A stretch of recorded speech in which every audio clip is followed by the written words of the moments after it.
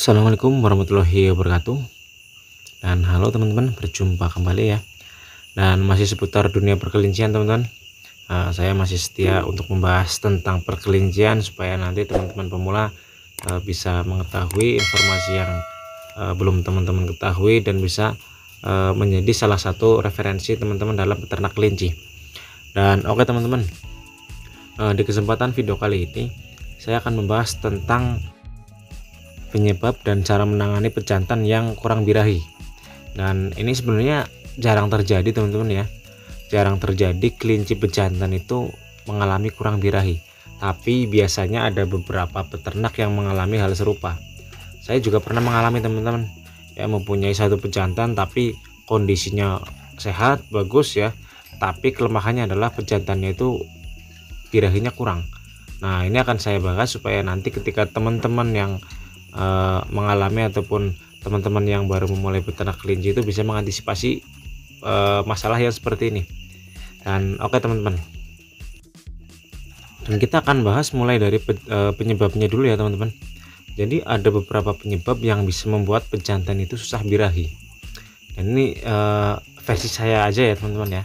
Karena uh, biar nanti teman-teman itu bertanya saya bisa menjawabnya ini versi saya yang pertama adalah uh, dari awal ataupun dari kecil ya dari kelinci sapihan pejantan itu dibesarkan dengan dicampurkan dengan si betina sampai usianya usia dewasa lah usia cukup dikawinkan ya teman-teman ya.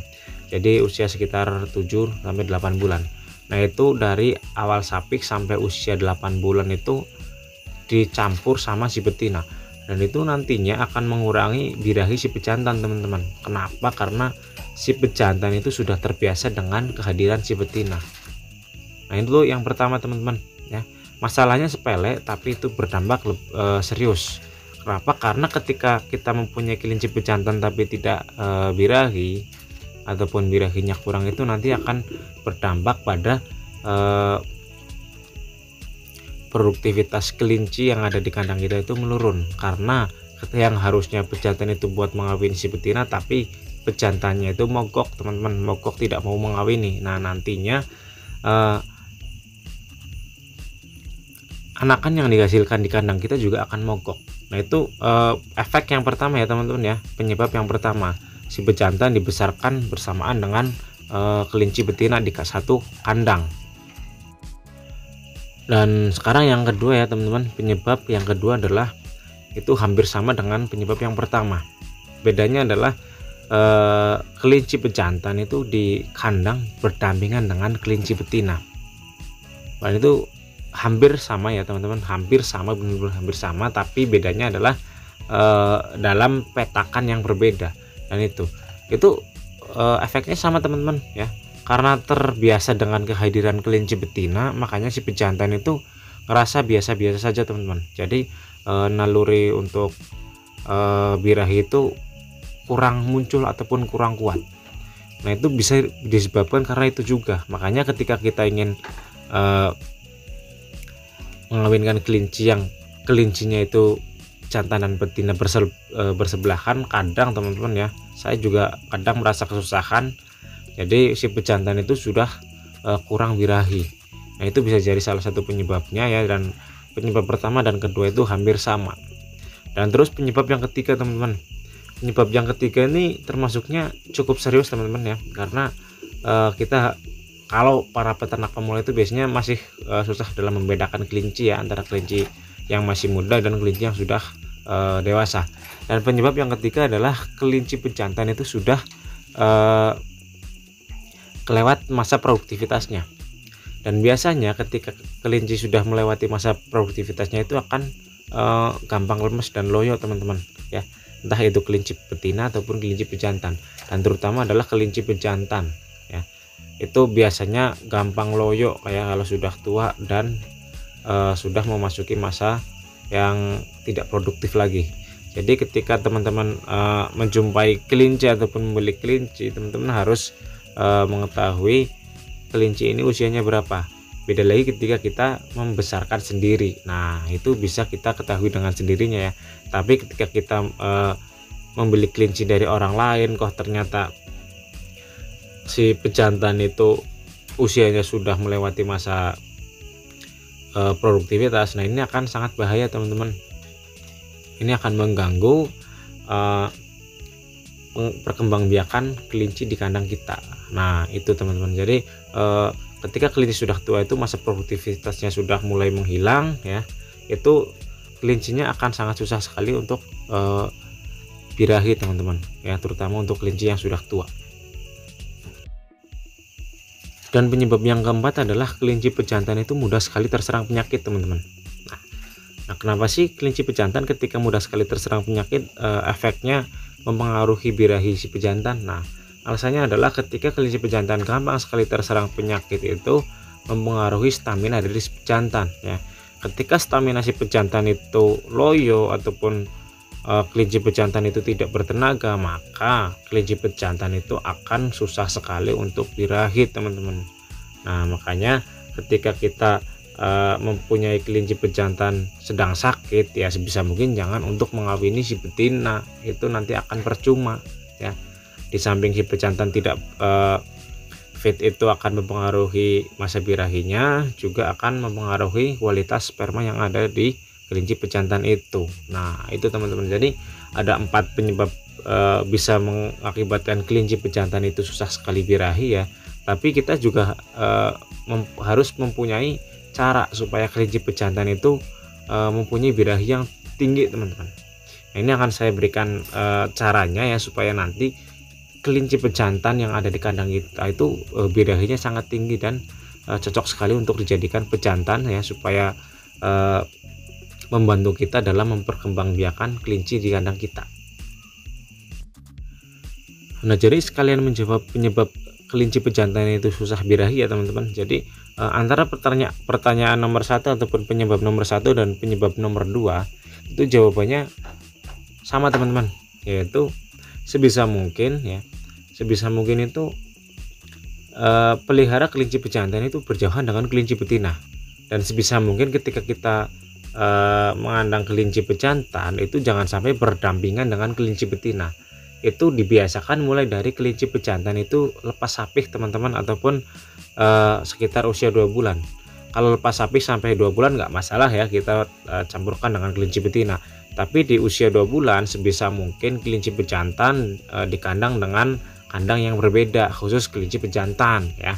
Jadi itu nantinya akan eh, membuat naluri kelinci pejantan itu tetap uh, pada garisnya atau alias uh, naluri kelinci pejantan untuk mengawini si betina itu tetap besar teman-teman ya karena uh, tidak terbiasa dengan kehadiran kelinci betina maka ketika kita uh, berikan kelinci betina itu nanti nafsunya akan tinggi dan akan meningkat teman-teman. Itu yang uh, jawaban yang permasalahan antara nomor satu dan nomor dua itu sama teman-teman ya. Sebisa mungkin eh, kandang ya di kandang yang terpisah.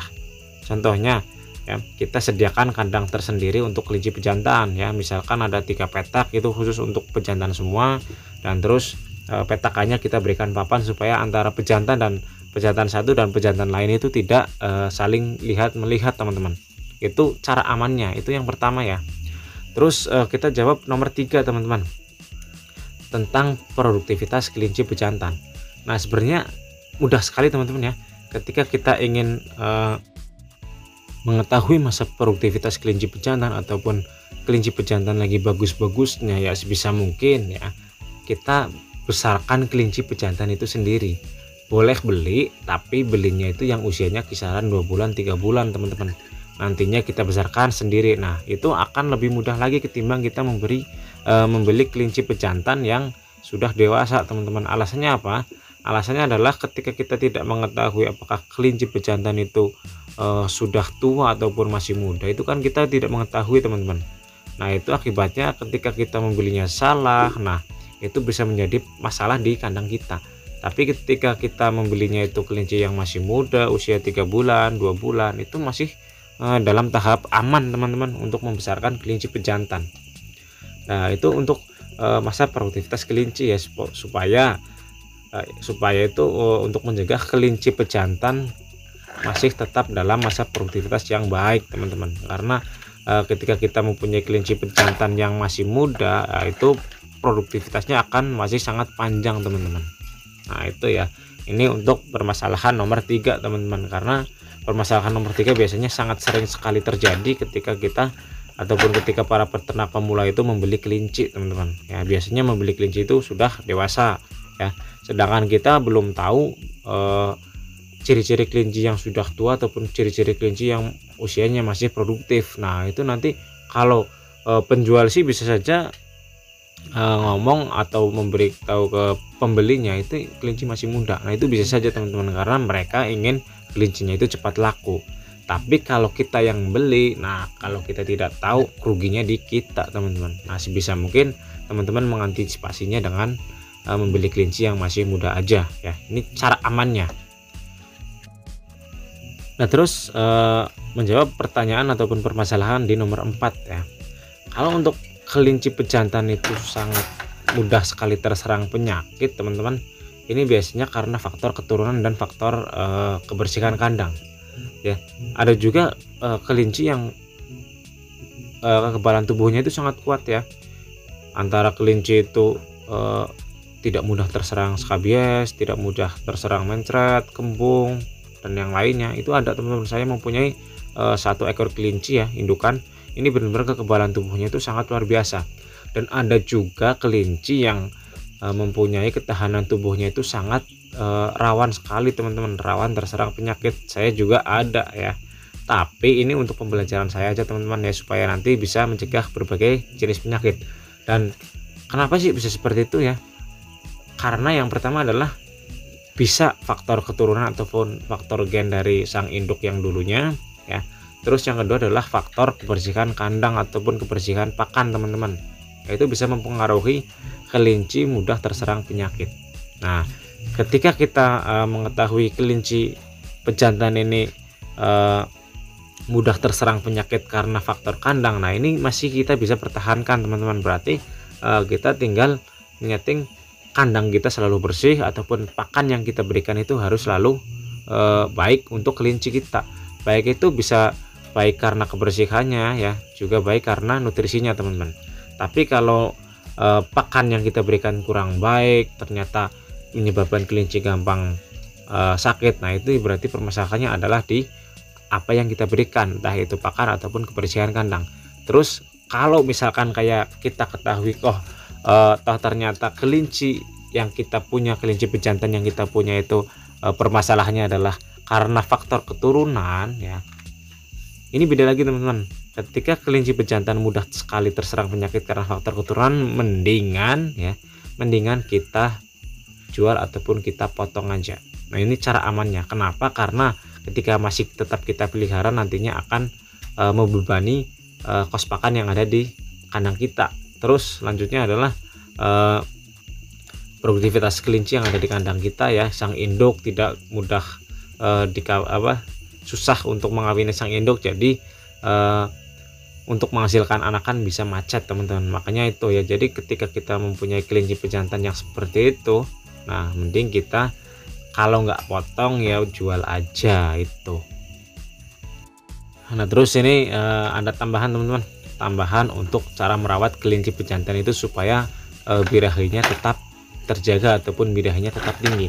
Ya kalau di kandang saya teman-teman untuk kelinci pejantan itu khusus saya berikan pakan-pakan yang termasuknya e, cukup bagus teman-teman. Itu biasanya ketika kelinci pejantan itu e, sering sekali untuk mengawini kelinci betina ya itu pasti saya berikan jagung manis. Nah jagung manis uh, tiap hari ya selama empat hari berturut-turut. Tapi cukup sekali aja sehari sekali di pagi hari ataupun di sore hari. Nah ini khusus untuk pejantan ya. Terus selanjutnya adalah kecambah ya kecambah ya kacang-kacangan ya teman-teman. Bisa mengetahui sendiri ya. Bisa tauge itu kan. Itu bagus untuk uh, kelinci pejantan terus selanjutnya adalah daun kemangi teman-teman. Daun kemangi ya berapa itu aja ya berapa tangkai nggak usah banyak-banyak. Itu cuma untuk e, menjaga aja. Karena untuk betina juga bagus sekali ya supaya e, menambah birahinya ya supaya langsung birahi benar-benar birahi. Itu ada beberapa pakan yang harus teman-teman berikan ya. Itu e, kalau misalkan kayak benar-benar itu kelinci pejantannya sangat susah birahi itu bisa ditreatment pakai uh, jenis-jenis pakan yang tadi. Dan kita berikan pakan dengan nutrisi yang cukup juga teman-teman seperti uh, ya pakan-pakan pokok kita ya. Kita tambahi konsentrat ya. Misalkan kayak teman-teman menggunakan pelet ya. Peletnya ditambah dengan uh, nutrisi ataupun vitamin lagi teman-teman supaya nanti uh, vitamin yang masuk di tubuh kelinci pejantan itu menjadi lebih baik lagi. Nah itu teman-teman. Tapi kalau pakannya uh, seperti ampas tahu ampas ketela gamblong dan lain sebagainya bisa kita campurkan dengan konsentrat bisa kita campurkan dengan premix dan jenis pakan yang lain supaya nanti asupan nutrisinya masuk ke dalam uh, tubuh si pejantan itu cukup teman-teman. Dan mungkin itu teman-teman ya. Uh, sedikit penjelasan tentang cara mengatasi kelinci pejantan yang susah birahi dan uh, penyebab kelinci pejantan yang susah birahi. Ini menurut versi saya dan sepengalaman saya dan itu tadi juga saya sudah uh, berikan sedikit tips ya supaya nanti, uh, supaya nantinya kelinci pejantannya itu tetap uh, dalam masa birahi yang tinggi ya supaya nantinya bisa tetap menghasilkan anakan-anakan kelinci yang berkualitas dan tentunya banyak teman-teman. Supaya nanti kita juga panennya mendapatkan hasil yang melimpah ya. Dan mungkin cukup sekian dari saya. Sekian. Wassalamualaikum warahmatullahi wabarakatuh